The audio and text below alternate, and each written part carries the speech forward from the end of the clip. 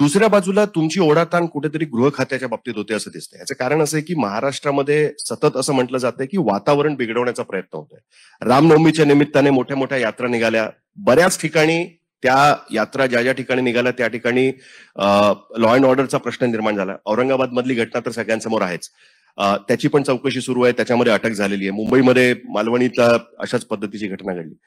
तुम्हाला काय वाटतंय की येणाऱ्या निवडणुकींच्या पूर्वी किंवा लव जिहाद कायदा झाला पाहिजे म्हणून काही जागृती मोर्चे निघाले वगैरे.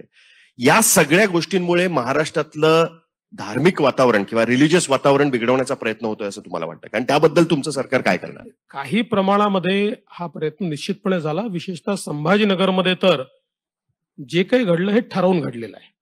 आणि त्याचं सगळं डिझाईन आमच्या लक्षात येत आहे मोठ्या प्रमाणात अटक केलेली आहे. आणि शंभर टक्के कोणालाही सोडणार नाही. आणि ज्या लोकांनी ज्या लोकांनी नुकसान केलं आहे त्यांच्याकडनं पैसे वसूल करणार. पण हे लक्षात येत आहे की काही ठिकाणी डिझाईन करून हे होत आहे. पण संभाजीनगर वगळता छोट्या घटना अनेक ठिकाणी झालेल्या आहेत. त्याही घटनांना आपल्याला नजरअंदाज करता येणार नाही. पण मोठ्या घटना फारशा काही झालेल्या नाहीत. पण माझं मत आहे की महाराष्ट्रासारख्या औद्योगिक राज्यामध्ये अशा प्रकारच्या घटना होणं योग्य नाहीये. इथे नेहमी आपल्याला शांतता ठेवली पाहिजे तोच प्रयत्न आपल्याला केला पाहिजे.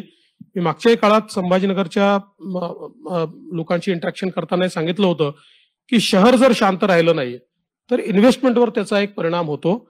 मला असं वाटतं की ही शांती आम्ही निश्चितपणे आणू शकू. कारण आमच्या सरकारचं ची भूमिका पक्की आहे की जे लोक अशांती पसरवतील आम्ही त्यांना सोडणार नाही. आम्ही त्यांना जेरबंद करू. सर पण संभाजीनगरचा तुम्ही उल्लेख केलात म्हणून. त्या ठिकाणी गेल्या महिना दीड महिन्यापासून शहरामध्ये असं वातावरण होतं की काही ना काहीतरी होणार आहे. म्हणजे तुम्ही तिकडे कोणाशी बोलायचं त्यांना असं वाटायचं काहीतरी होणार आहे. कारण शहराचं नाव बदलण्यात आलेलं होतं. त्याच्यानंतर एम आय एम कडनं त्या ठिकाणी एक आंदोलन सुरू झालेलं होतं. दुसऱ्या बाजूला रामनवमी जवळ येत होती. तुम्ही म्हणालात की ठरवून केलेली गोष्ट आहे.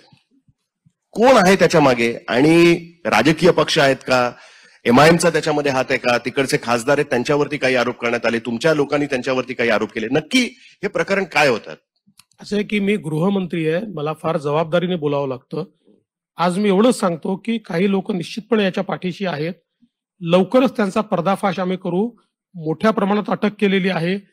काही सूत्र त्या ठिकाणी जुडतायत. ते सगळे जुळले की आपल्याला निश्चितपणे सांगू.